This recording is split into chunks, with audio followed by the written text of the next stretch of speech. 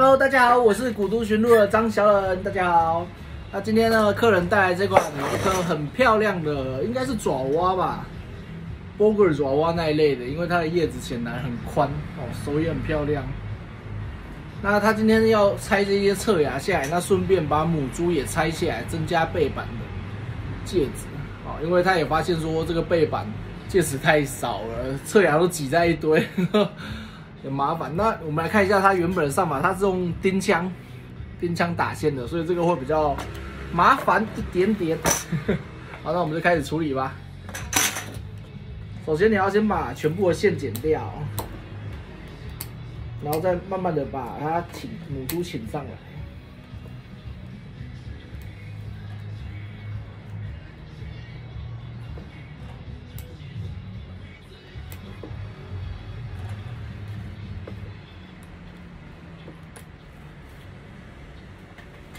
那其实，在用这个的时候，你都会碰到一些小障碍，就是说，因为它侧牙会盖到那个点去，所以有时候要出动美工刀去割里面的线。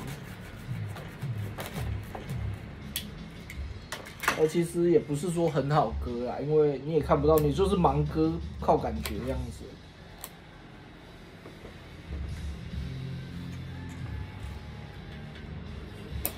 用钉枪上板速度很快，但是对后面的要整理来说是一件很困扰的事情。尤其是要把它拆下来的时候，就比较不建议大家用钉枪上板。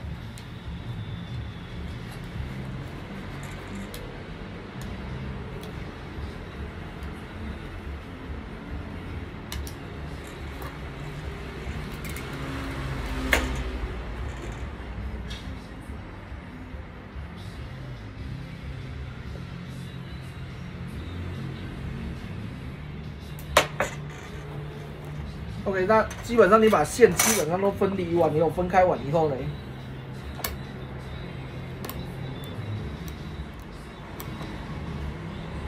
要开始看看它水苔可不可以移动起来，不能移的话，你拿一支铁尺，然后顺着它这样插进去，做一个根部根部断断法的动作，就是把根部啊跟下面的板子一起分离。那你可以顺便检查说它周围。的线有没有全部除掉？没有的话，再除掉它。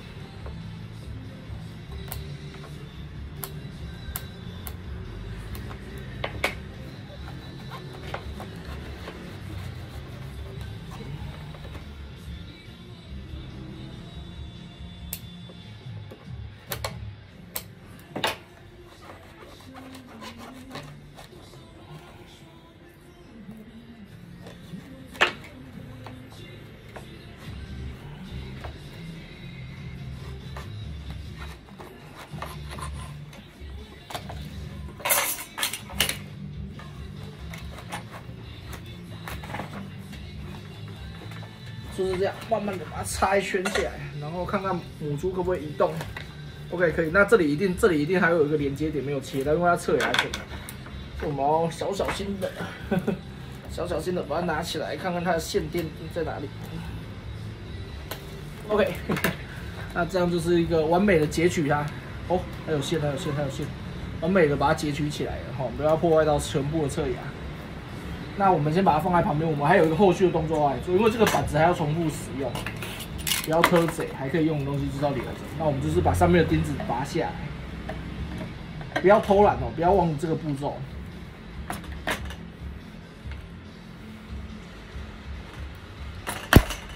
这样子改天你在钻螺丝还是在干嘛的时候，比较不会说伤到手还是怎样。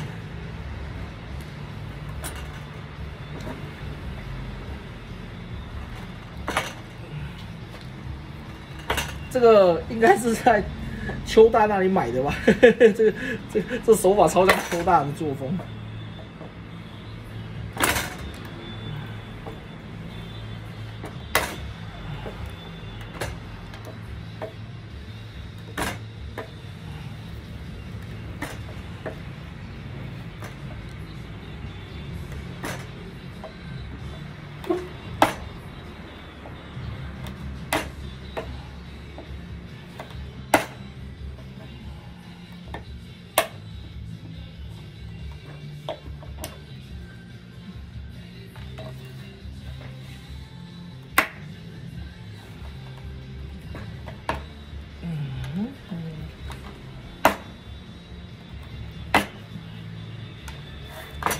OK，那基本上这样子，这个背板就算整理干净了。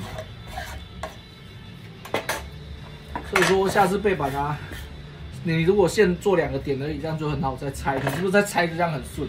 不会这样子。所以冰箱是快速啦，快速上板，但是对后续来说是很慢的一个，你要整理的时候会很麻烦。各有优缺点，各有好坏。把冰箱收好，不然等下扎到手。那接下来背板就是做一个打洞的动作，通风打洞。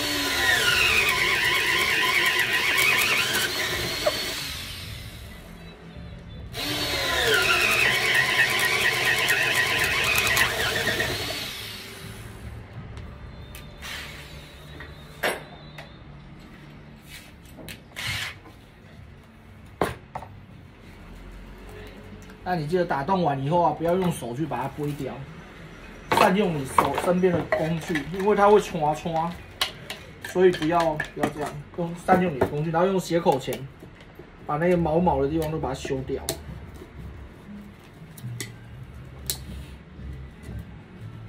这样才不会扎到手。那这块板子它以前应该它以前应该是有烤黑的。看这个颜色，它以前是烤黑的板子，所以等一下我们也是帮它再再烤一次颜色。尤其是背面这些刷刷的，你你一定要把它剪掉，这样才不会伤到手哦。你在拿拿的时候才不会伤到手。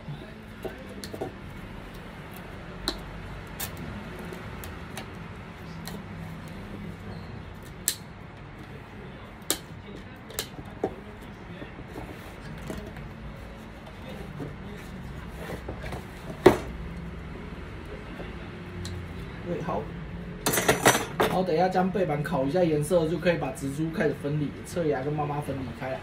那就第一第一步到这里哦，拜拜。